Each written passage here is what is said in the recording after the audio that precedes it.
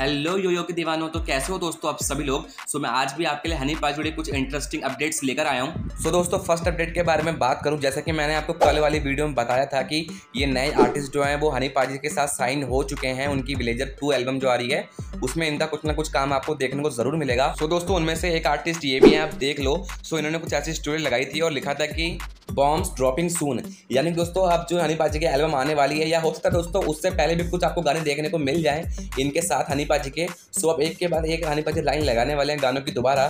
सो अब next update के बारे में बात करूँ। जैसा कि दोस्तों, आपको पता है कि पिछले कुछ दिनों में कुछ रैपर्स हैं जिन्होंने हनी पाजी के बारे में मतलब पीठ पीछे बहुत बोला है। सो उसी का मेरे को लग रहा है कहीं ना कहीं हनी पाजी ने अपनी इस स्टोरी के साथ उन सभी को जवाब दिया है। देख लो उन्होंने क्या स्टोरी लगाई है।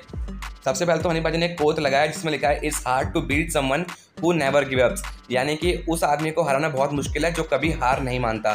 पर उसके ऊपर हनी पाजी ने लिखा है, मैं और मेरे यार ऐसे ही हैं बच के। यानी यानी दोस्तों, हनी पाजी इनडायरेक्टली सभी को जवाब दे रहे हैं, जो जो दोस्तों उनके बारे में फालतू बोलते हैं, पीठ पीछे बैठ के।